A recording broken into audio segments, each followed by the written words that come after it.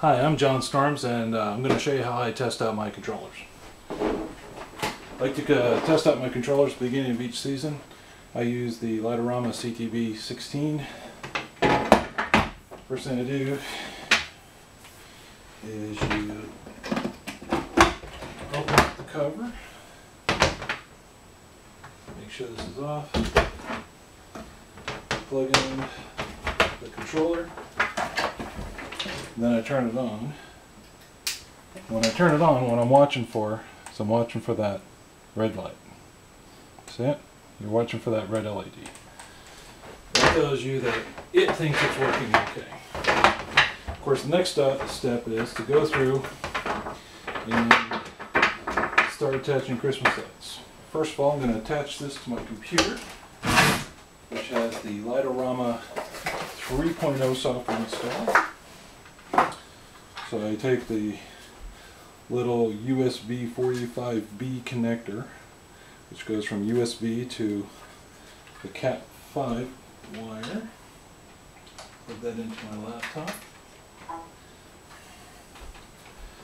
plug this in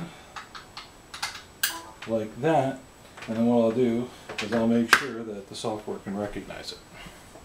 Okay, so I just plugged in my controller so I come in here and I find my Light-O-Rama software.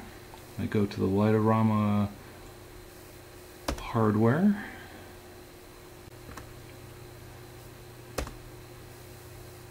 And it says it's founded on device 3.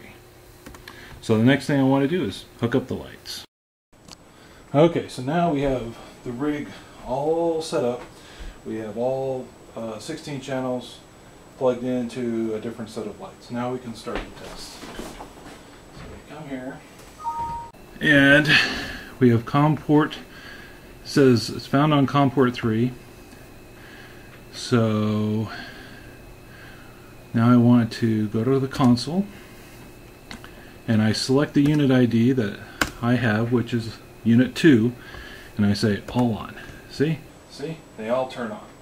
Now if my um, unit ID was set improperly, these wouldn't turn on, and so that's another thing I'm checking for. So first test is turn them all on, then we say twinkle, shimmer, and then effect off, and then all on. And we say all on, and we also make sure that they all dim and come back up.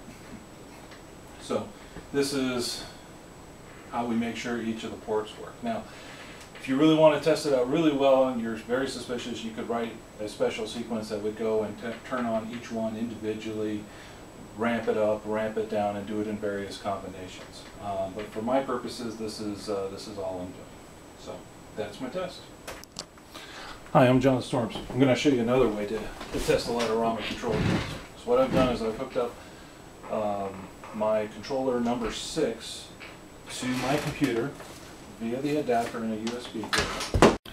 So I go to the Light-O-Rama hardware utility, Light-O-Rama, Light-O-Rama hardware. Okay, and you select the unit, just as easy as putting in the ID there, and then you say on at 100%, and you make sure that all the lights are on. Then you can do a shimmer, you can do a twinkle, you can do a fade. I like to, since I do LEDs, I like to do the fade a little bit slower just to see if I'm getting any significant flickering. Okay. And then you can also run through a nice little chase sequence where it turns them all off, turns them back on, back on.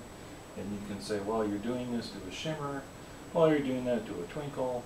And you're basically looking to make sure that every single channel is doing something. Okay?